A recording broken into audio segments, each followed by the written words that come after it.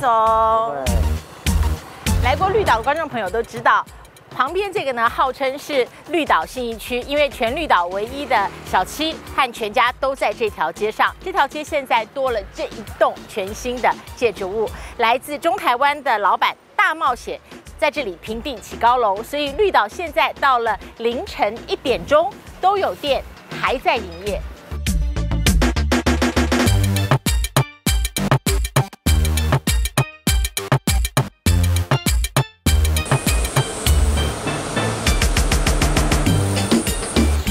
十二天盖完这一栋在绿岛的旅宿，是小岛的热话题。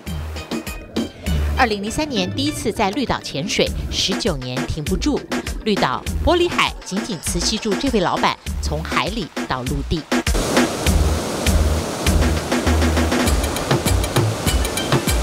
绿岛也是国际级的绿岛，世界仅有的三大海底温泉，这里就有，而且面对的是初升的朝日。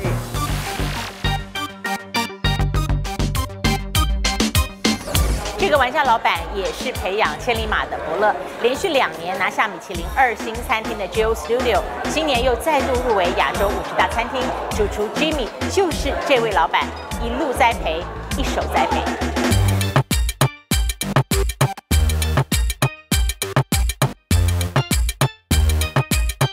我们刚刚从这个小飞机下来，接下来让我们一起去看看绿岛的新可能。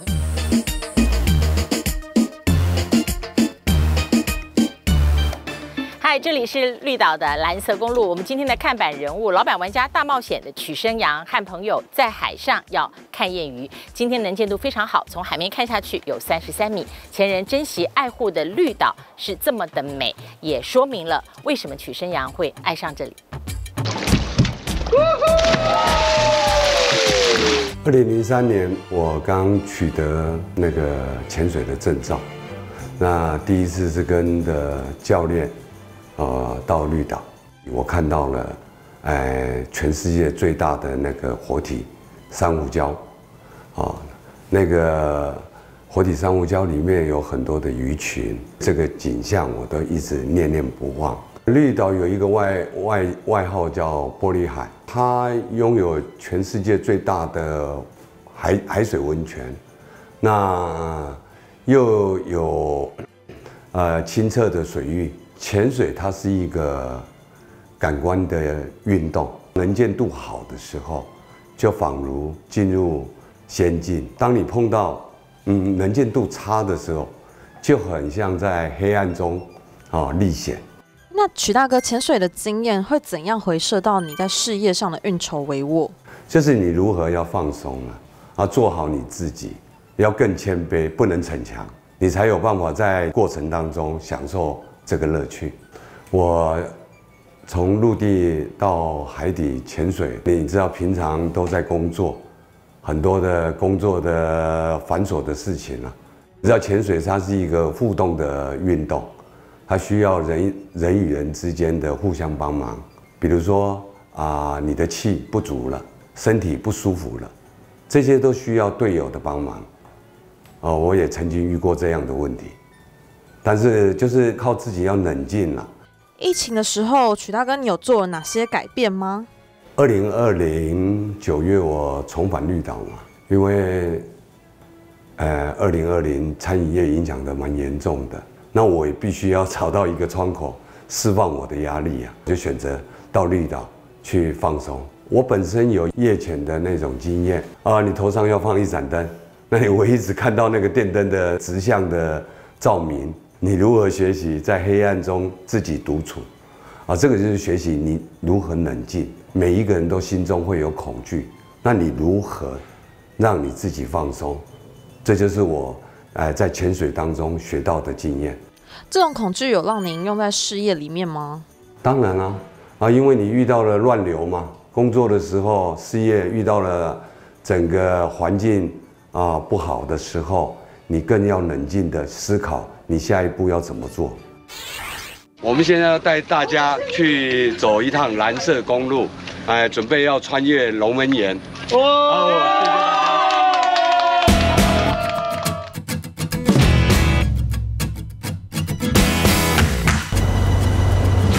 浪太大了，过不去。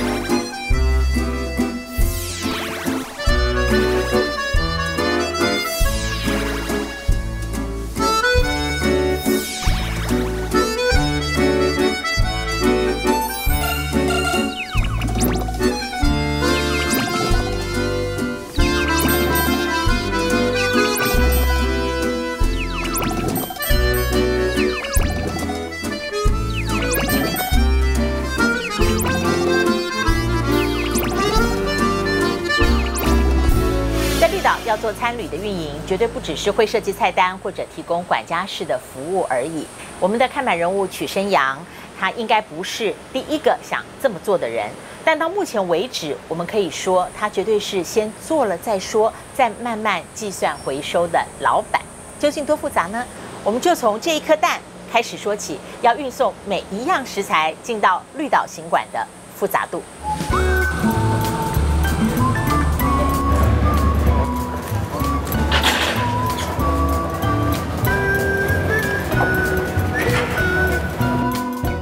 老板，麻烦你嘞。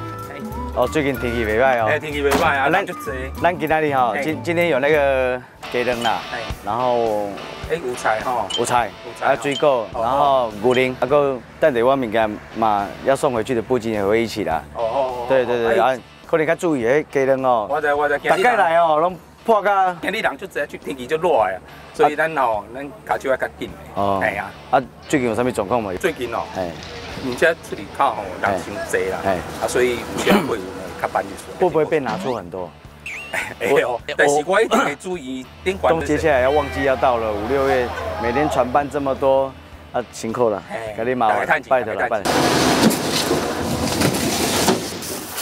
现在我们客船已经进来了，在绿岛哈，你们大家看一下，现在客船它会负责上下货，还有待会客人会从客船下来，绿岛就是这个码头。你看现在这个情景，还不是到非常大的旺季哦，到了旺季大概是五月六啊六七八九这个大旺季的时候，每天是二十个船班。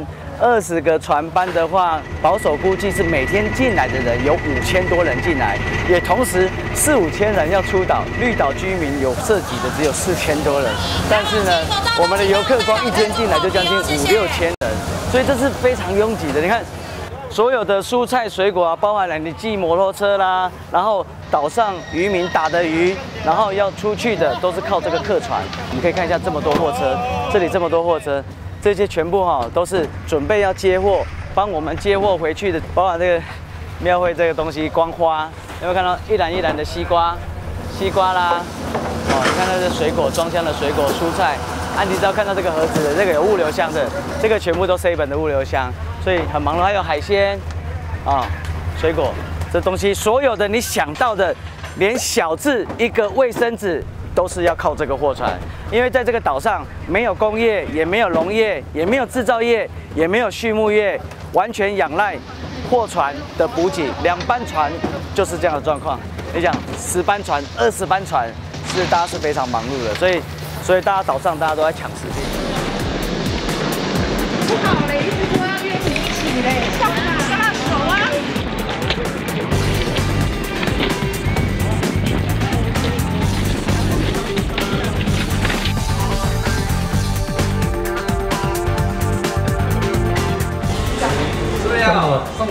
OK，好，我们这边走。最近蛋的状况怎么样？蛋还不错，现在平台。呃，我们走这边，小心哦。目前蛋的库存都不会很紧张吧哦，不会，现在台中这边的话，货源还算？OK，如果有紧张的话，再随时跟我讲，好不好？我可能要先叫回来库存。好。哎，哎，今天只有一班船，今天两班船，我看连床单啊、对被套那些全部都要送到台湾，全部都送台湾，因为这里没有洗涤厂，所有的床单被套我们要从这里打包好，送过去台东清洗，我们送上船一包五十块运费。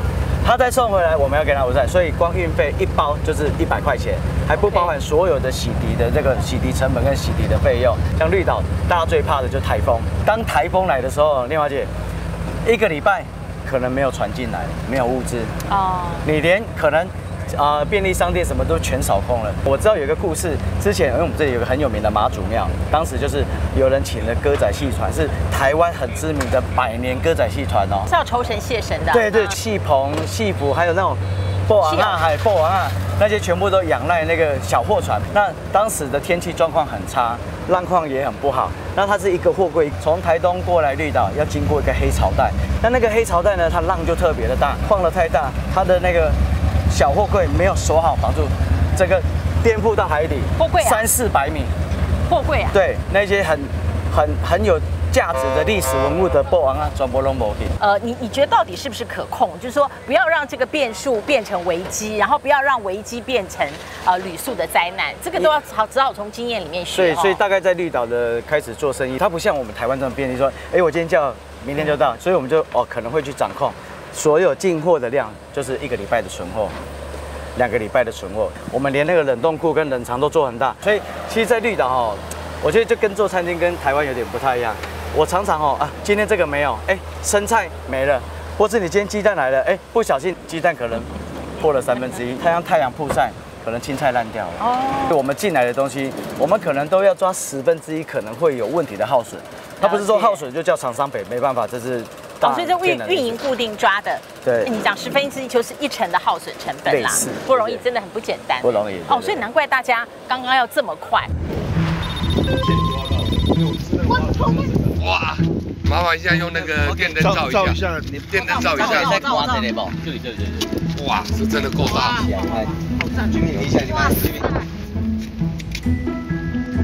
是他们拿崩啊出来，哎，这十个背起来，哇，真的有重哎、重哦。哇哇，他是伪装高手，对的。乘一点六是就是台阶了，他他现在变成跟他一样的颜色，他是伪装高手。所以八八点四，八点五了。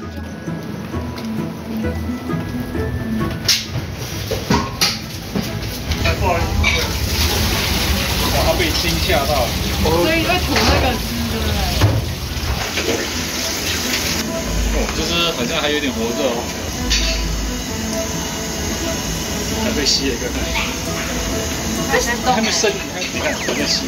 对，让它先冻晕。对。就是把冰，然后水。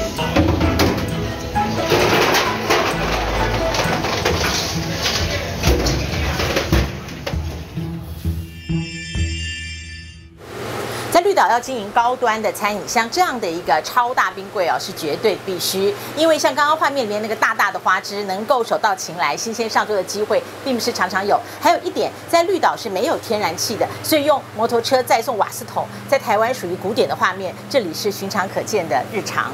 这次我们的看板人物曲生阳，他雄霸台中的餐饮集团，培养了好几位全国知名的名厨，其中连续两年拿到米其林二星 Joe Studio 的 Jimmy 林田耀，这次也特别飞飞来绿岛，来尝试协助定位绿岛新滋味的可能性。这是那个绿岛，就是说渔民他们打上来的鱿鱼啊，对对对，然后做一些发想，然后就是比较想要融合当地的一个食材，所以我做了一调了一个泰式的酱汁。那我们试看看。你你很喜欢做泰呃那个意式料理，那为什么这一次你会想要用泰式的这个这个？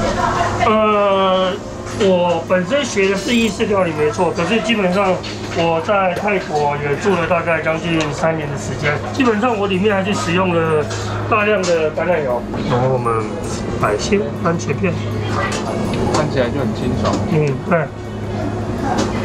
因为绿岛嘛，天气它比较热一点，所以做一点清爽的比较好，开胃。那他们这个一一个礼拜来几天？通常不一定的，可是他一次来的话，大概会来六十几公斤有。它其实有点像是怎么讲？意大利一道很经典的菜卡巴球，它有点像卡巴球的摆盘的方式。我很喜欢的，就很干净。嗯，我喜欢意大利的感觉，对，所以把它做一个融合。因为现在其实料理已经无国界了，对啊，融合菜是趋势。很酷。对，然后就撒上一些。再来就是我的最爱，橄榄油。对。那我们要试吃了吗？最要把这些一起。对。它会带出一些不一样的层次。对。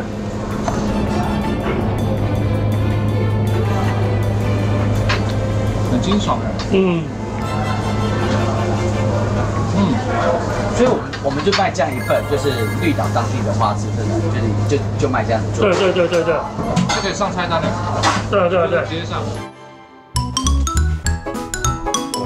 但我的真正的就是原生的家庭是在新加坡，然后现在我觉得台湾是我的，或台中是然后领养我的一个 一个一个一个国家，一个第一个城市。米其林二星主厨林田耀来自新加坡，大家都叫他居米。十五年前，他跟台湾结缘的契机，原来也离不开美食。之前是在新加坡一直看那个十字路口，对台湾这个国家就有一个好奇感，就是很好好多美食哦，就是很想要找机会来看看。好，谢谢。好哦。由居民领军的 JL Studio 开业五年，不但2019年起连续四年获得亚洲五十大最佳餐厅，2020年开始更是连两年攻下米其林二星。以新加坡料理为骨干，结合台湾蔬果加以转化创新，就是 Jimmy 想要带给大家视觉味觉兼具的新加坡飨宴。然而如今的 JL Studio 五年前原本设定高档欧陆餐厅，开幕前三周一系反转。那时候已经都进去厨房开始在做东西了，他突然有一天跟我讲说：“我这些菜我全不用了。”我们突然吓到，一个礼拜的时间，他做出了第一套的他想要的。Modern 的 Singapore cuisine。二零一六年，居米加入新野餐饮集团，董事长曲生阳和总经理赖轩勋，这两位伯乐面对突如其来的大转弯，仍全力相挺这匹千里马。那个是很挑战，那个是非常非常呃呃异想天开的事情了。我做事就是对的事，就是把它完成吧，不用去考虑说成败吧，至少我尝试过。居米期望东南亚家乡味，跳脱刻板印象。即使初期在地接受度备受考验，团队更是一度兵荒马乱，他仍咬牙坚持。我就想说，天哪，你要做新加坡菜？前一两年真的是摸索很久很久很久，因为那是一个我陌生的啊领域。但是其实他不吝啬分享，他会互相就是丢球的那一种 chef，所以他们就会很好奇，他们就这是什么东西？你为什么新加坡料可以卖到这个价钱？这里有零客人过，我还自己买了一个餐，就是不想要让它在上面是零。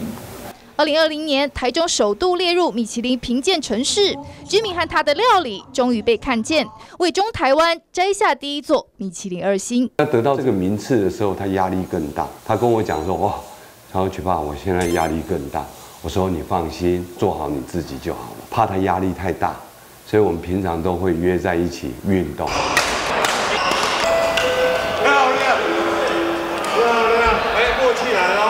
除了起家的铜锣烧，星野集团在台中拥有六家餐厅。创办人曲生阳领头，邀旗下员工和厨师们一起到球场打球、上健身房，是集团特有的舒压方式。看到我打会不会有点紧张？压力没有，我也没有打，很少打双打，不会打，都在打单打。所以刚刚我很笨。走出厨房的米其林主厨其实是运动好手。居米高中时一度打进篮球国家少年队，膝盖受伤，终止运动员梦。从小跟在厨师爸爸身边，他赫然发现早已深植体内的料理魂。从小就耳濡目染，可是你不知道他已经在你你你的血液里面的。在运动，我也是在 push 自己的意志力，所以在厨房，我觉得是一样的道理。二零二零年，居米挥军北上，开设第二个品牌 Chop Chop Eatery，这回不走高端路线，要打造更贴近街头的新加坡饮食。这个是甩饼。是从印度，然后传来新加坡，然后在那边慢慢变成我们的那边的小吃。不同的基底配出来的调酒和重口味东南亚料理更 match，强调味觉比例。居民更重视餐点美感和用餐环境的呼应。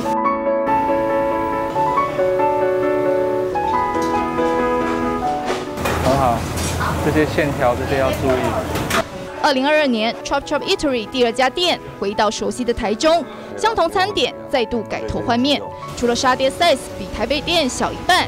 原本的竹编圆盘换成狭长白碟，顿时显得秀气。台中的话，我是把它优雅化或者西式化一点点，因为像在一个美术馆或艺术馆里面，它的那一个想象空间是不一样的。却不是一个细节控，这个花苗的位置啊，这个 sauce 要怎么画，他超级重视这个细节。而这里的海南鸡饭看不到熟悉的水煮白斩鸡、香煎鸡腿和炖饭的组合，让东方料理也能有西式吃法。他 always 就是有很多的 idea 是，我都觉我觉得他是外星人。他的每一套菜所做出来的是，是会让你有画面。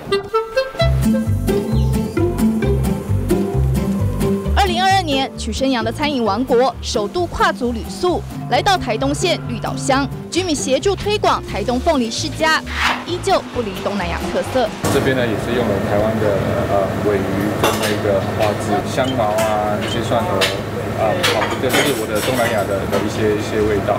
牛奶、蜂蜜和世家打成的沙拉酱，提出海鲜和蔬果鲜甜。是加快裹面糊下锅油炸，厨房顿时洋溢果香。居民发挥美感细节控，就地取材，精心装饰摆盘。哎，Sally，麻烦走上来，谢谢。我们在这里就是做任何可能的尝试，真的青菜之类的东西，就是必须要从那个台中运送过来。运换菜色就是冰箱打开，就把自己关在冰箱里面，看个三十秒，OK，就拿出来。如今居民台北、台中两头奔波，虽然无暇抽身长久待在绿岛，找来 Ada 主厨坐镇，五年三家餐厅的经营历练。让他更清楚，不论餐点还是人才，都应该因地制宜，找到对的位置，发挥最大效益。最在意的点是我们选的人，他是不是喜欢岛上生活？工作跟生活，他是需要被 balance 的。像以前，我觉得自己就很强制的在在 force 一些东西，会很很执着在于说，哎，这个东西不能，它不能改。现在就就会去去去去想说，哎，怎么这它适不适合这里？距离，透过料理在异地诉说自己和家乡的故事。精心雕琢的餐点，不变的骨干与灵魂，却仿佛有着百变的面貌。就像这位星级主厨，不时翻转的职涯，每次转身都期待遇见下一次精彩。从台湾呃聘雇了差不多四五十个工班，过完年就来了，来到绿岛。啊，三百四十二天他们才回去。你的货物不能进来，薪水要给他，他还要吃要住，还有公班他把车子停在台东的时候还要付停车费，光停车费大概十几万。跟曲爸的的合作很有趣，我觉得用了很大段一一段时间去去证明自己，因为一开始的时候，像在做 JL Studio 的时候。啊，市场上新加坡料理是没有的，啊，然后你要把它做成一个高端的的餐饮，它是更少。我觉得曲爸的那个心脏也很大颗，他也愿意相信。像那时候我们教室有刚开的时候，他他有来吃过那个菜单，就觉得香料太多了，不符合台湾人的饮食习惯的口味。那时候很深刻的，我们有一个一个对谈，可是那时候我还是很坚持的要。啊，保留新加坡的味道啊，因为我觉得做事情需要有那种坚持跟信念，你相信的话，啊，这个东西才会做得起来。那如果嗯一直去摇摆你你你在做的事情的话，可能它就不会这么成。Jimmy，你从南洋到台湾的人生是没有办法用单一的坐标来定位。在台湾的这些年的生命感受，它是怎么样的融入到你的创作里面？例如说那个沙爹，它是一道新加坡的呃街边的小吃，大家都会耳熟能详。可是，在台湾的话，我把它转变成一个蔬菜的的方式，那用了大量的台湾，尤其是中部这里种植的蔬菜，它有茭白笋、节瓜，然后豆薯，即使连到鲍鱼都会有。那我们的酱汁我做了一点变变化，那我们是用了那个开心果去代替花生的部分。创作是人生的累积，经验的累积，所以啊，有时候一个创作它可能。一天里面你就可以想出来，可能它需要三年，所以我觉得就是呃生活的体验的这个 part 很重要。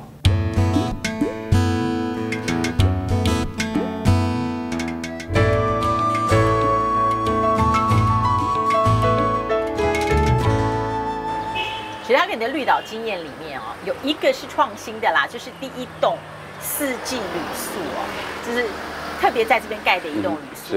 不过我的印象里面，绿岛它最高级数曾经出现的强风是十六还是十七？十七级风。十七级哈。对。以前我们气象先生任立宇，对，他在做台中台风预报的时候，他最生动的，就是呃告诉我们几级风，然后说哦，人走在路上呢会被吹的摇，或者树会连根拔起。对，这个木格栅，这个木木格栅它是有美观的一个呃功效，那它另外有两个它的功能。一就是说它是抗台，我们这个木格栅，我们把它关起来以后，这里把它锁上去以后，我们可以防止看板或者是碎石，哦或者树枝，哦直接撞击玻璃，它有遮阳的效果，又有半透视的美感。这个玻璃也有做抗 UV 的处理，嗯哼，所以因为绿岛。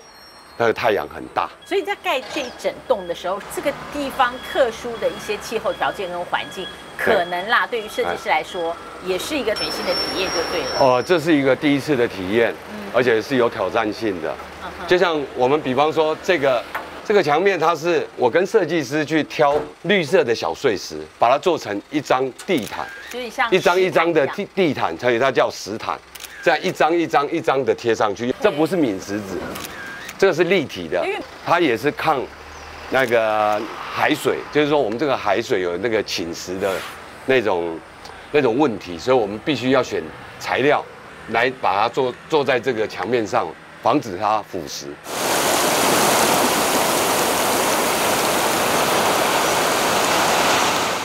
哇，夏季之前我觉得这边的风就。很湿哎，不知道这边湿度多少哈？这里湿度大约都超七十几到八十几。咸味这么重的这个海风，在这里的四种建材，是不是也让我们知道现在花费多少心思？因为你这个正面海嘛。对对对。算不算是绿岛最近海的旅宿啊？呃，是从最顶楼开始说，最顶楼是红铜。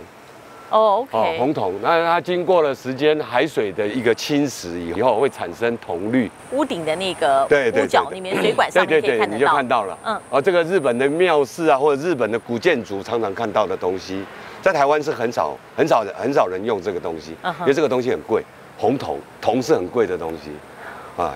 啊，它不怕海水的侵蚀，所以它在四种建材里面算是呃成本价格最昂贵的其中一种而已，还不是？你那个柚木花就刚才我们讲的柚木，嗯，刚那个柚木，光这几扇柚木从前面到后面这样花了两百多万。现在看到那个栏杆，嗯，你们看起来好像是锈铁，对，但是它不是锈铁，它是白铁，实心的白铁，嗯哼，我们把它喷了锈铁漆，让它生锈，在漆上保护漆。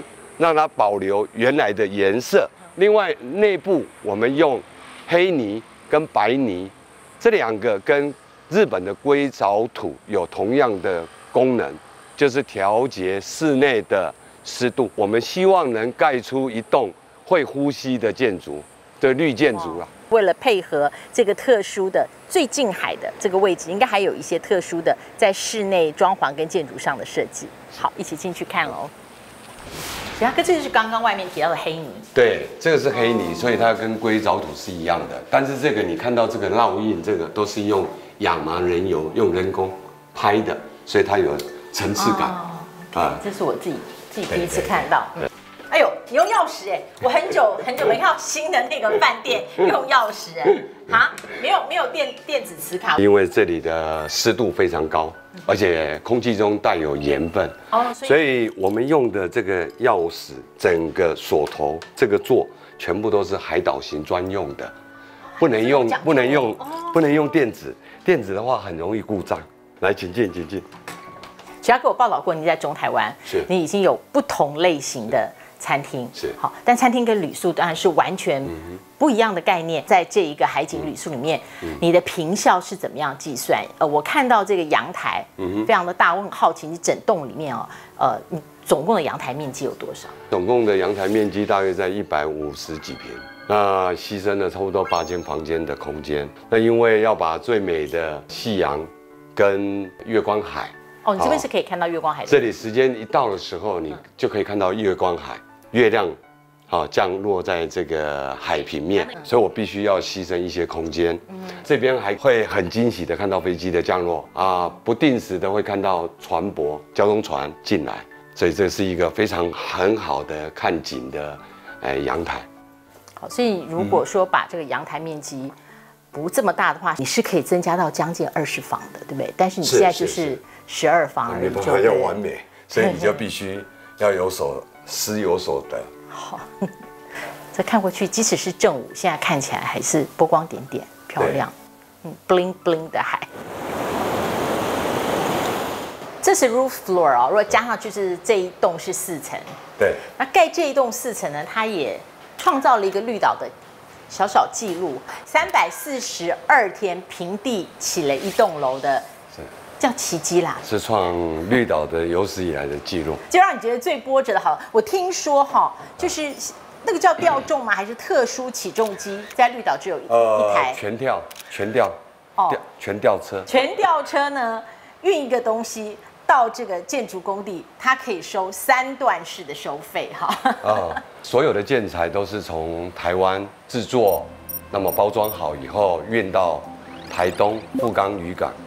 那从台东富冈渔港再用吊车把它吊到货轮上，那么货轮再开到绿岛，那绿岛呢再用全吊车再把它吊起来，再到青屿。这一段呃我们就要付了三次的费用。这样子分成三段就对。对对对对，那曾经也遇过了 全吊车坏了，啊，又要等工呃等师傅来到绿岛修修理，一等一等等了差不多快一个月，啊，也有一次因为气候的问题，所有的货物都全部都停滞在搁置在那个富冈渔港，没有办法运过来绿岛。那所以你的工班是都是台湾来的吗？然后吃住跟所有的帮他们全包了。对我从台湾呃聘雇了差不多四五十个公班，嗯到绿岛过完年就来了，来到绿岛啊，三百四十二天他们才回去。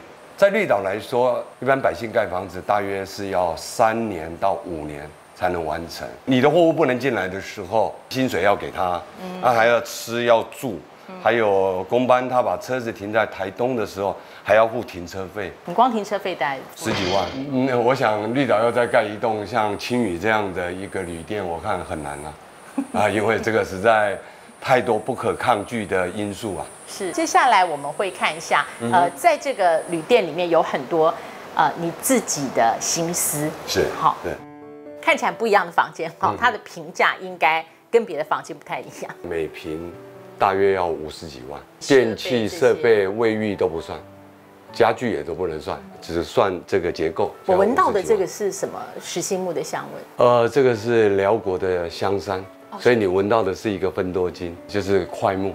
还有这间房间，这个被子的被套是我亲自去选的，被套啊，因为我常常去旅游，有时候睡到半夜都会热醒、冒汗、不透气。后来我就请教这专家，我他告诉我说，啊，如果是化纤多的时候就不太透气，哦，那棉多的时候就容易皱，他就做了不同的比例，我买回去试，我测试完最好的比例是三十 percent 的化纤，七十 percent 的棉，不容易皱又透气，所以这是驱动比例就对。全部都定做，全部定做的对，哦，我们这个枕头，嗯嗯，是两种不同的硬度。还有的客人他喜欢睡那个记忆枕，他可以跟管家讲，那管家就会把他送上来。其实，在你第一次做旅宿的时候，我因为很喜欢旅行嘛，所以结合了你太多的旅游经验，里面好像还有一个可以对对抗我们抗海泡的浴缸，我们看一下，哎当时在设计这个淋浴间，哦我们就不想要用玻璃的隔间，嗯。因为隔玻璃它容易产生那个藏污纳垢，那管家也不好清洗，所以我们采用意大利的薄片的瓷砖，它是没有毛细孔，所以它很好清洁。哦，在这个地方有一个巧思，我们做了一个止水线，所以这边的水不会溅出到这个地方，所以它高低差不用太大哈，不用太大因为太大所以也不会有这个一小不小心滑胶的危险。使用的人，所有清雨的房间都没有用玻璃，因为水有够，它会咬到玻璃，那你就清不掉了。徐大哥，到目前为止，你觉得绿岛教会了你哪些过去在你的事业版图跟山崖里面嗯不曾那么深刻领会到的事？哦，我在台湾经营事业的理念都是，呃，人定胜天，人定胜天。越挫越勇。那来到绿岛盖这个会馆，受到很多的挫折，那让我学会了如何谦卑敬天。嗯啊，同时我也学会了，来跟当地的居民接地气。怎么说？呃，在本岛做事业，我都是单打独斗。哦那来到绿岛，它是属于观光服务业，嗯那我必须要跟本岛的一些服务业的呃业者共同来提升啊、呃绿岛的观光品质，让来过的人还想再来。你意思是说共好啦，有钱要跟大家一起赚。是是是，比如说潜水啦，或者是呃包船、蓝色公路，这都是一个很特别的呃活动。还有交通工具啊，骑摩托车啊，啊、这些都是，SUV 也是。你好像又长高了。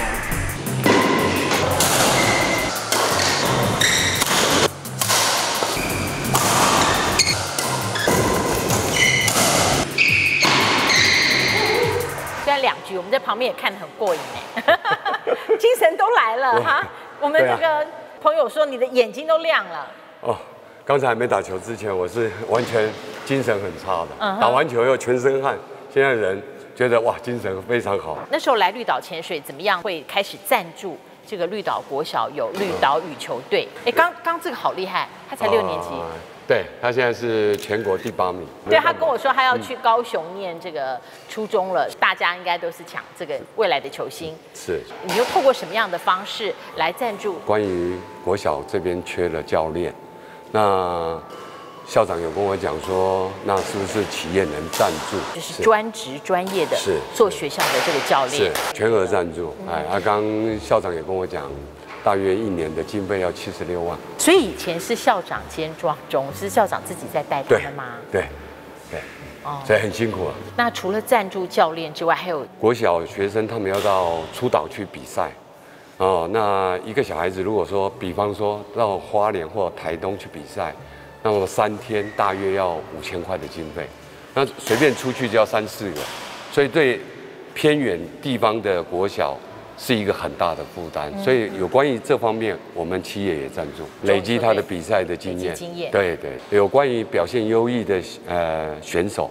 那是不是说来做一个奖学金的补助？就是使得他没有后顾之忧的，他不用去担心他自己培训的经费问题。我本身喜欢打球，看到这些小学生，就是好像看到我的孙子一样，哦所以我愿意赞助他们。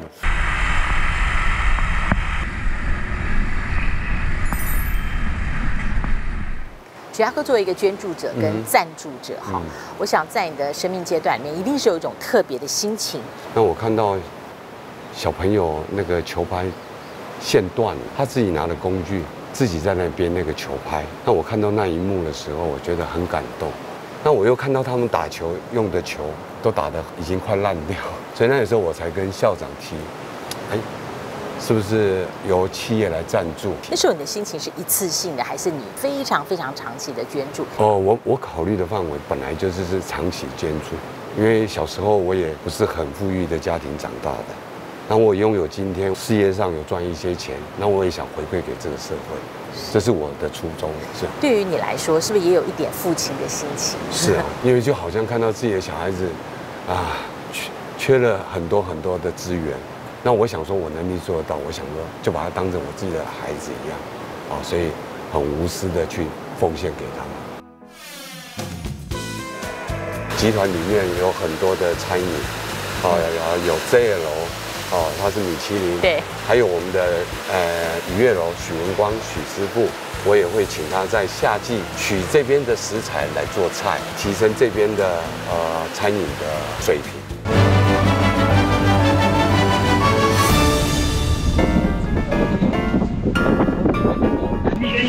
波比跟一根，对，是都今天讲的，对，早点咸的，哇，新鲜的，然后下面是锅。底，嗯，波比有大，对不对？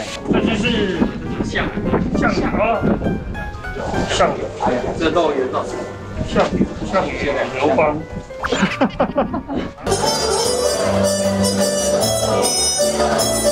它有一个名字叫做夏日芬芳啊，然后我们叫它 Summer Fragrance，就像刚刚它的名字，是一个很干净纯粹、一个浅色像阳光一样颜色的液体，用哦。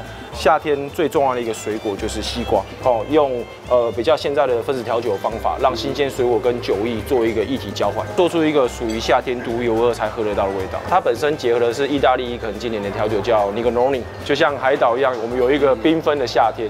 我真的很像，这杯酒真的很像。我们一起来为他唱生日快乐歌。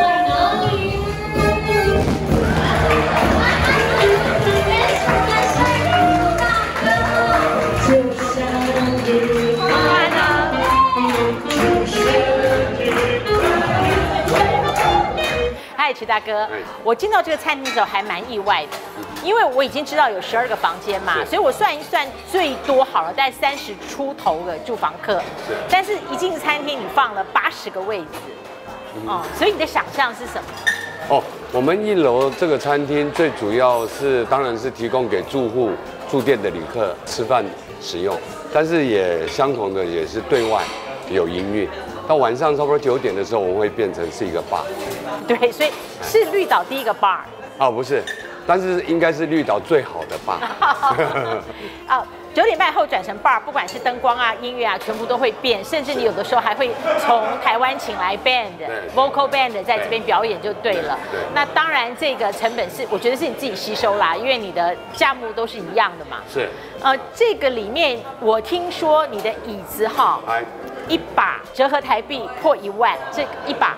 对，这个椅子是意大利原装进口的，抗 UV 的。抗 UV 嘞？对对对，它是户外椅，是因为这里的很多潜客、玩水的朋友，嗯，他们裤子湿湿的，我不能用正统的餐椅。他坐下去，真的是你自己潜水才会知道。对啊，我坐下去的话，那张椅子就就就完蛋了。那我有一个问题想问念华，哦，所以外面是洞洞的，嗯，对对对，你知道为什么餐厅里面的椅子，嗯，会用这么多颜色吗？跟绿岛有关吗？有有关。云彩的颜色吗？没有这么多。OK，我告诉你，嗯嗯，这些颜色就是海底的珊瑚的颜色，软性珊瑚的颜色。你现在看到五彩缤纷的颜色，就是海底的颜色。这边好，我我们来看现在。bartender 就有两位，他们应该工作很忙，没有没有时间回台湾吧？嗯，目前都还在这里。哦，那他不要提，有没有很闷，很想回去？怎么会呢？天天都度假的。在老板面前讲的 不算好，所以这里的员工，呃，你保持几位？超三十二个吧。因为你整个集团的餐饮主要集中在台中嘛，所以他们如果要轮调回台湾，呃，坐这个火车也要一个。大 U 型哎，基本上公司有加百分之二十的外勤，啊外外岛的离岛的加薪，啊另外我们公司是每个月把盈利百分之十给他们当奖金，另外百分之十，好当年底的年终哎年底的奖金，好还有一个百分之五给主管的奖金，总共要发百分之二十五的奖金。这二十五 percent 的奖金不包括年终奖金，哦，是另外的。我们聊到这里哦，其实我想观众朋友有概念，就像我们来拍，你看三天前两天天气很稳定，对，第三天那赖总跟我们说，方小姐，你明天哈回去接的那个 小飞机好像不飞了，就是说它天候变化很快，所以一年你真正能够运营的时间是几个月？一年的旺季大约最多六个月，那云运九个月，三个月我们要休管。哇，所以你一年有四分之一的时间对是休管的，是是是，所以相对来讲，你 maintain 这个成本，如果我们就可以运营的获利，这是一个呃高成本的挑战，就是蛮大的压力，所以我们我们会让员工休息，多余的时间到各，呃各集团啊的品牌下面去支援，减少轻雨的支出。